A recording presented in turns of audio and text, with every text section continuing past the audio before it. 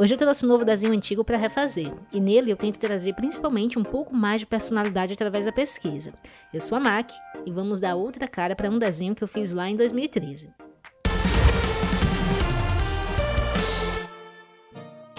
Como eu disse, esse é um desenho que eu fiz em 2013. E como alguns já sabem, porque eu falei sobre isso em outros vídeos também, desde que eu comecei a de fato criar do zero os meus desenhos, o que eu mais gostava de fazer era qualquer coisa que tivesse machados, espadas, armaduras, magias e afins. Então ainda tem muita coisa do tipo por aqui guardada nos papéis e nas pastas que eu tenho ali de desenhos.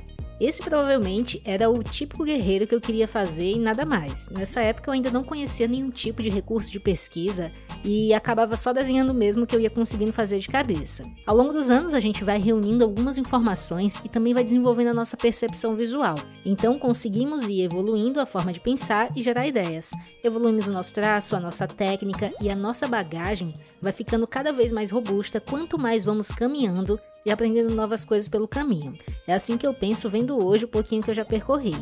E agora que eu tenho um pouco mais de informação, eu consigo aplicar um pouco de tudo isso para os novos trabalhos que eu estou fazendo atualmente.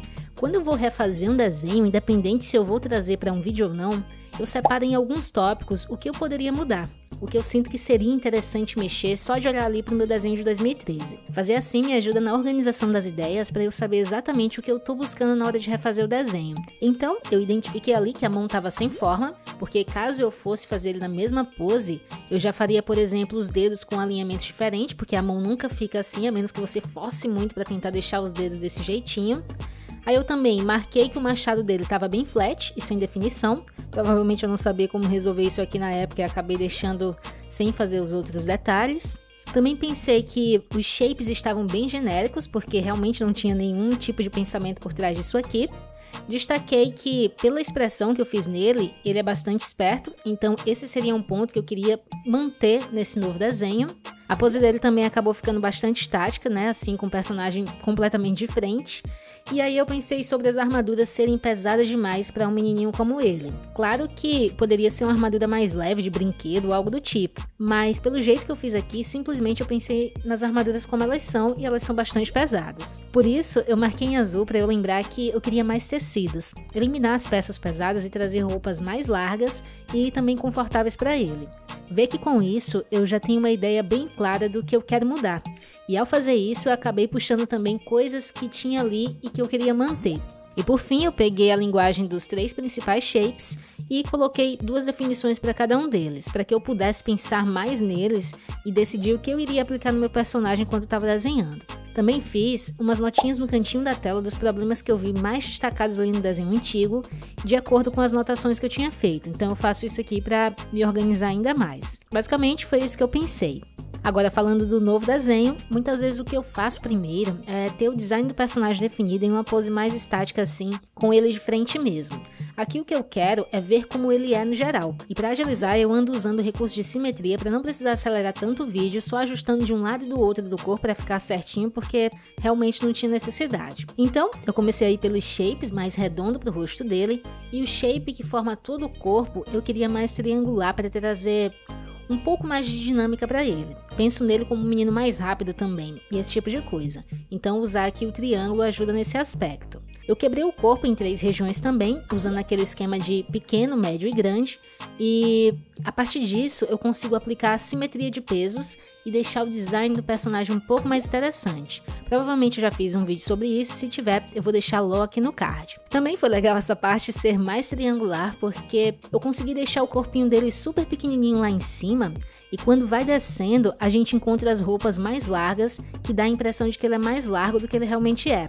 Então eu pude deixar a calça bem solta sem perder o shape que eu queria inicialmente para ele, que era que formasse esse triângulo aqui. E de restante foi construir um estilo que é confortável para mim que eu gosto. Mantive os olhos bem grandes, o cabelo na mesma posição, trouxe uma expressão de mais espertinho para ele, só que agora ele parece bem mais infantil do que o interior, que era exatamente o que eu queria aqui para ele agora. E isso acabou ajudando na hora de identificar que ele realmente é um menininho mesmo. No outro não parecia estar tá tão definido assim, mas nesse aqui ficou bem mais claro que ele é um menininho ali por volta dos 6 anos de idade talvez. Bom, pro restante da roupa eu tava com muita dúvida do que eu ia fazer, porque eu não tinha mais as armaduras dele ali e o pouco de roupa que eu tinha no meu desenho antigo não ia servir. E como um dos problemas que eu coloquei ali era sobre a falta de uma história de fundo para ele, eu aproveitei isso para resolver todo o restante.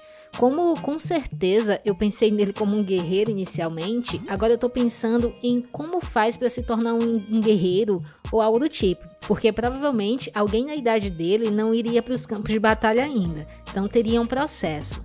Ele seria ainda uma espécie de aprendiz, por exemplo, é, aí depois ele seria nomeado e tudo mais, até se tornar um guerreiro ou algo do gênero. Então foi em cima disso que eu fiz a minha busca.